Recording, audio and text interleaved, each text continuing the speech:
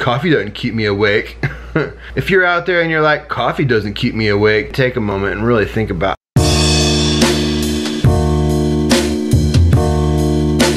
So we're at my parents. We're gonna have some, a roast dinner for my dad's birthday. Uh, it looks really good. And there's fudge again. So yeah, we're gonna be destroyed by great food. Destroyed by great food. Smash that like button with fudge.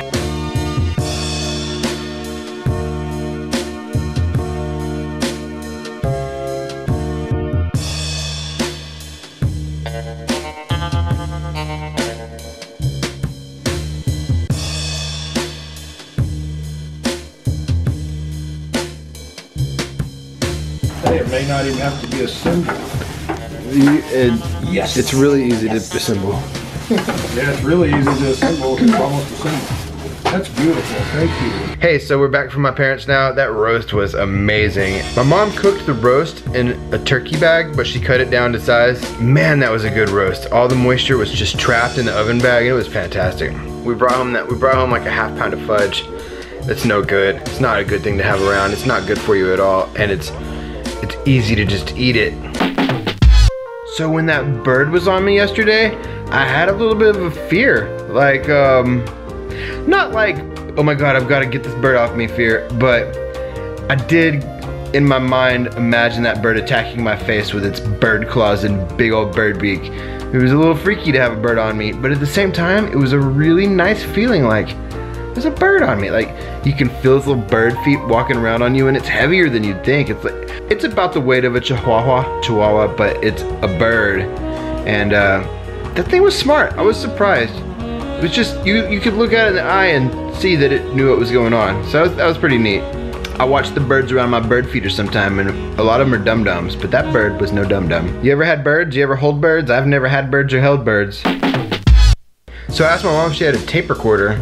So I brought home a Tascam 424, but it turns out that it doesn't work, um, and the tape recorder didn't work either.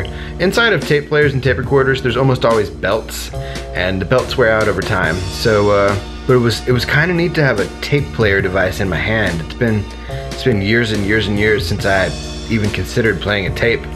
I emailed Tascam to see if I could get a replacement belt. I think I could probably open the thing up and change the belt. I mean, somebody can. If somebody can, then I probably can.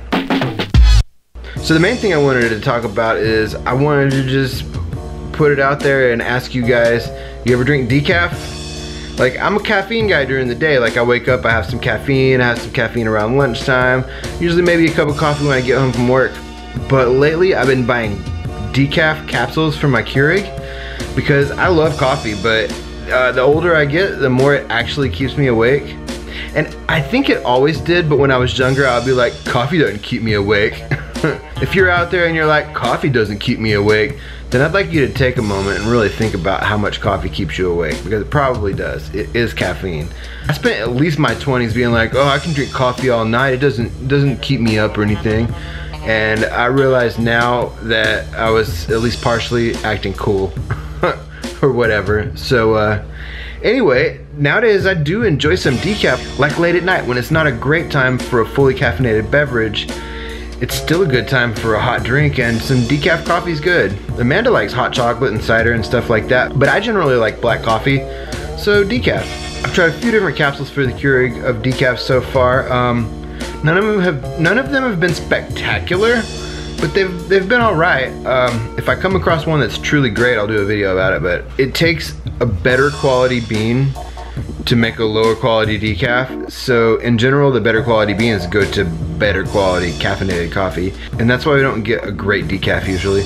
I need to do some research. I haven't actually Googled it. I've just been grabbing different brands of decaf. You know, I haven't done any real research. Maybe there's something great online. So question, do you guys like coffee enough to drink decaf just when you'd like to have a hot beverage? I think most people would probably go for a hot tea or something like that if they want something late at night that's not like full coffee strength caffeine. So anyway, let me know what you think about it down there.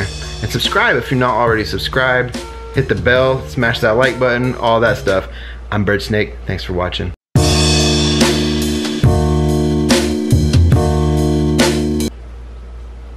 Ah! It scared me so bad.